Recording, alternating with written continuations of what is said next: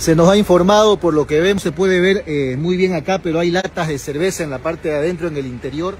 Estamos tratando de que, de que con la luz se vean más allá de los barbijos y la bandera. Presumiblemente habían unas latas de cerveza. En el asiento trasero aquí se puede evidenciar, quizás ustedes no lo vean, yo estoy viendo las latas de cerveza, Conti si no me equivoco, y una caja de petardo. Esto lo han utilizado para hacer vandalismo, está clarísimo. Esta movilidad ha sido para levantar los bloqueos de Santa Cruz. Mientras la gente estaba pacíficamente ejerciendo su derecho a la protesta, utilizaron este vehículo que en apariencia es municipal para hacer los desbloqueos.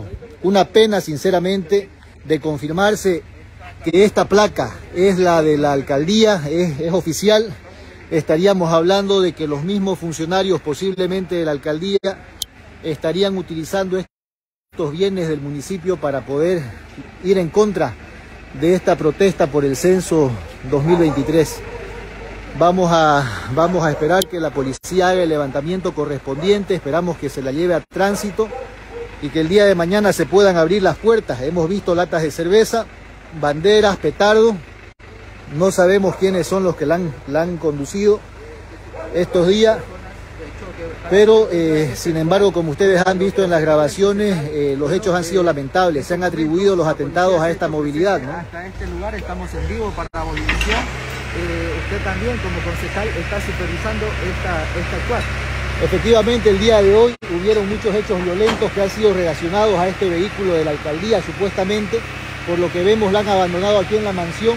Esperamos que las cámaras de seguridad nos den información de quiénes la han traído pero de confirmarse la placa que es de la alcaldía, por lo que tenemos entendido, sería lamentable que la alcaldía esté yendo a levantar los bloqueos usando los vehículos de la misma alcaldía que se pagan con los impuestos de la gente. ¿Se va a pedir un informe al alcalde? Inmediatamente vamos a hacer la petición correspondiente. Ellos han dicho de que supuestamente la movilidad habría sido robada. ¿Por qué no se denunció en su momento a nombre de quién estaba como responsable asignada la movilidad?